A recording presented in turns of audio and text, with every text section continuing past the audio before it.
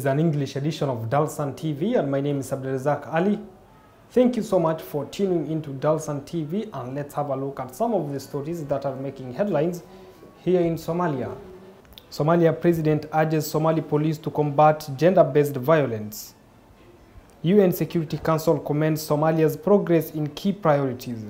Five killed in deadly bombing in Mogadishu. Former NISA officer sentenced to death for murder by Mogadishu military court. That was our headlines. Now let's delve into our full bulletin. In the aftermath of the three shocking cases of women allegedly murdered by their husbands, Somali president, that is Mr. Hassan Sheikh Mohamud, made a visit to the police headquarters in Mogadishu. The, the incident has triggered widespread outrage in the capital, prompting the president to call on the Somali police force to prioritize the development of the country's laws and intensify efforts to combat corruption. In the aftermath of three shocking cases of women allegedly murdered by their husbands, Somali President Hassan Sheikh Mohamud made a visit to the police headquarters in Mogadishu on Monday. The incidents had triggered widespread outrage in the capital, prompting the president to call on the Somali police force to prioritize the development of the country's laws and intensify efforts to combat corruption and drug use. During his visit, President Mohamud received detailed reports from various departments within the police force's leadership. The reports encompassed the structure, operational procedures, reform plans, and statistics of the Somali police force. This comprehensive briefing aimed to provide the President with insights into the force's operations and to facilitate discussions on strategies to enhance security and address the recent surge in gender based violence. The Somali police force has successfully apprehended the perpetrators responsible for the murders of the three women, all of which occurred within the first week of February. During the protests, demonstrators held placards bearing images of Lal Abdi Aziz Jazaren, a 28 year old woman who was doused with petrol and set ablaze. Jazaren, a widow and mother of six, suffered severe burns.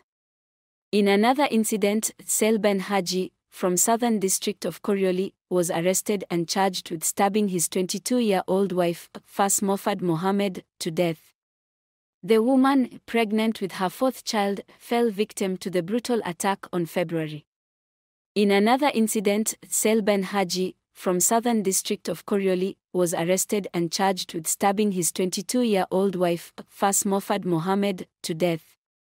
The woman, pregnant with her fourth child, fell victim to the brutal attack on February.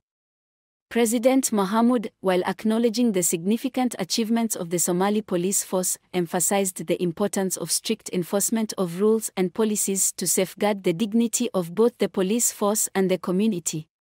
He further stressed the significance of fostering a strong partnership between law enforcement agencies and the community, as it plays a pivotal role in ensuring the security of the country and the safety of Somali children and women. It is expected that these actions will lead to improved law enforcement, increased protection for vulnerable individuals, and a strengthened resolve to tackle the root causes of violence against women in Somalia. The United Nations Security Council convened a meeting at, to discuss the progress made by the federal government of Somalia in implementing its diverse priorities encompassing development, security, women's, women empowerment, and addressing humanitarian needs within the country. Madam President, my briefing today will provide brief updates on eight areas. Firstly, political developments. Secondly, regional developments. Thirdly, a security update. Fourthly, women, peace and security. Fifthly, human rights. Sixthly, humanitarian situation and links to climate change. Seventhly, economic development. And finally, transition. So, Madam President, I will begin with an update on political developments. The National Consultative Council proposals of the 27th of May on the proposed new electoral model continue to be de debated intensely. On the positive side, there is broad public support for the transition to one person, one vote elections. But there is also a realization that the timelines proposed by the NCC are too ambitious. The UN is therefore working with the Ministry of Interior, Federal Affairs and Reconciliation to develop a realistic plan which will nevertheless ensure the momentum towards one person, one vote is maintained. We welcome the recent approval by Parliament of the procedural rules for constitutional changes. This now sets a clear pathway on process. It is now urgent to reach an inclusive consensus on the electoral framework, and on the Constitution, we encourage all parties to engage in the spirit of compromise to finalise the process. Without an agreed constitution, Somalia remains vulnerable to perennial crises with no agreed rules of the game to enable resolution. I commend the people of the federal member state of Puntland on the peaceful conclusion of the electoral process on the 8th of January 2024.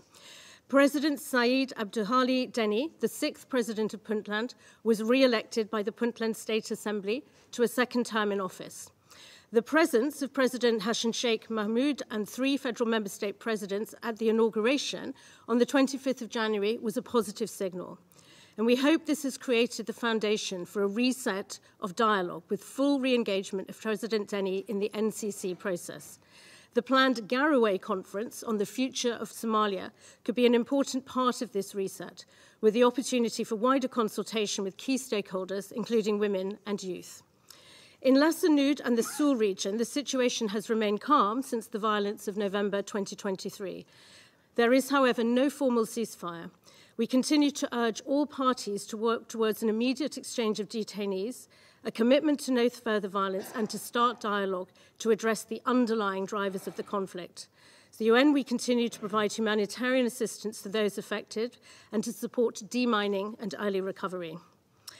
Madam President, my second update concerns regional developments. On the 1st of January, Ethiopia and Somaliland announced a memorandum of understanding which reportedly grants Ethiopia a 50 year lease on 20 kilometres of coastline in exchange for certain political and economic benefits to Somaliland. The full details of the MOU are not available, but public pronouncements have generated strong, hostile public reaction in Somalia. It is also worrying to see Al Shabaab exploiting the situation as a tool for recruitment. We recognise that the strong feelings in Somalia are putting pressure on the government to respond, and we encourage the President to remain measured in his response. I echo the words of the Secretary General, who has recalled that the Security Council has repeatedly affirmed its respect for the sovereignty, territorial integrity, and unity in Somalia, and called for all parties to engage in peaceful and constructive dialogue, and to refrain from inflammatory words or actions that could further escalate tensions. Situation must be resolved through constructive dialogue. In that regard, it is disappointing that no significant progress was made at the recent Africa Union summit. Madam President, my third update focuses on the security situation. Countering Al Shabaab remains one of the government's top priorities. Heavy rains and flooded, flooding hampered operations towards. A roadside bomb struck a passenger minibus and an auto rickshaw, resulting in the death of at least five people in the capital, Mogadishu. A roadside bomb struck a passenger minibus and auto rickshaw in Mogadishu, resulting in the tragic deaths of at least five civilians and leaving over a dozen others wounded on Monday night, according to the police. The Somali-based militant group Al-Shabaab has claimed responsibility for the attack, further underscored the ongoing threat to the region. The explosion occurred at Source intersection in the Hilwa district during the bustling evening rush hour, inflicting chaos and tragedy upon innocent civilians. Promptly responding to the scene, security forces have initiated rescue efforts to assist injured and provide much needed support. Al Shabaab, known for its spiritual tactics and insurgents, has not only targeted Somali government and security forces but has also conducted numerous attacks against the civilian population. Al Shabaab has also extended its reach beyond Somali's borders conducting acts of terrorism in night-pouring countries such as Kenya and Uganda. The Somali government has intensified its efforts to combat Al-Shabaab over the past year, working in collaboration with the international departments and regional forces. A former officer attached to the National Intelligence and Security Agency NISA has been sentenced to death by a military court here in Mogadishu. The military court of first instance delivered the verdict on Tuesday morning, finding Kahin guilty of murder of Abdullahi Yusuf Ahmed along Hosh Road in Mogadishu. Officer attached to the National Intelligence and Security Agency NISA